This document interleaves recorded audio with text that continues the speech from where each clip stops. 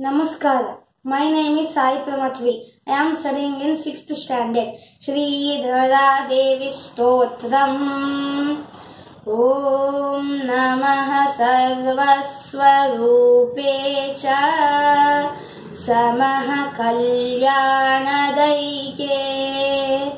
महासम्पत्प्रदे धनधायै नमोऽस्तु ते। महाभोगप्रदे देवी।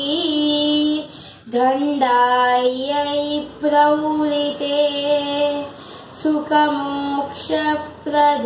देवी।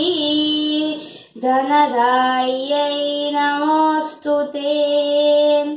ब्रह्मरूपे सदनदे सदानन्दस्वरूपिणी। धृतसिद्धिप्रदे देवी धनदायै नमोऽस्तु ते। उद्यात् सूर्यप्रकाशबुद्ध्या दादित्यमण्डला। शिवतत्त्वं देवी धनदायै विष्णुरूपे विश्वमाते विश्वपालनकारिणी महासत्त्वगुणेनन्ते धनधायै नमोऽस्तु ते शिवरूपे शोवानन्दे करणानन्दविग्रहे विश्वसंहाररूपे च धनधायै नमोऽस्तु ते। पञ्चतत्त्वस्वरूपे च पञ्चसद्वर्णधर्षिते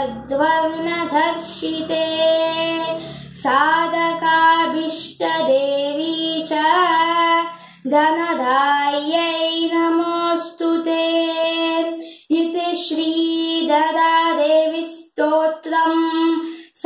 Purnam.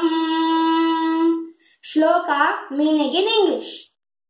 Here is a prayer addressed to Dhanalakshmi, the goddess of wealth. One day, Parvati asked Shiva as to how the poor, the timid family men can become wealthy. He then teaches her this great prayer, prayer addressed to goddess Parvati herself.